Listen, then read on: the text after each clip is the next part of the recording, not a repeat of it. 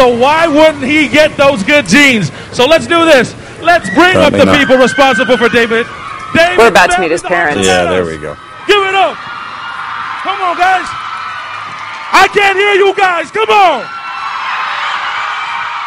His father James and his mother Lupe, or Jeff. J- James Jeffrey is his middle name, but he goes by Jeff. Right? Mom's from uh, Honduras. Ladies He has and three gentlemen, younger siblings, siblings rather, Amber, David, and Jazzy, and an older sister, Claudia. All right. We've gotta so be before you guys go, we want to do this while you guys are on stage.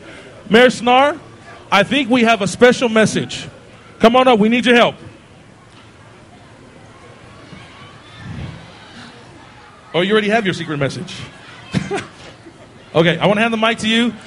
I need it quiet because this is top secret. Super, super secret. Here we go. David, this is from a very, very special friend of yours that really loves you.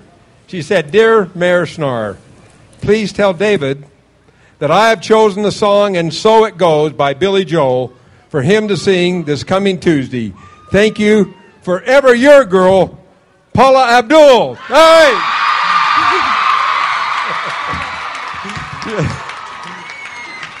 A message We're from looking Paula to Abdul. next Tuesday, where he's going to take it all the way to the top.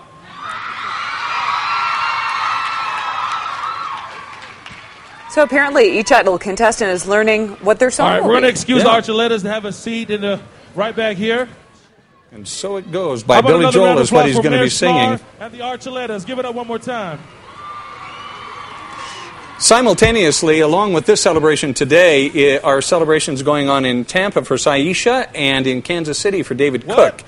Similarly attended. There are Okay, thousands did of both say? of uh, their exactly right. celebrations as well. That's Let right. him sing.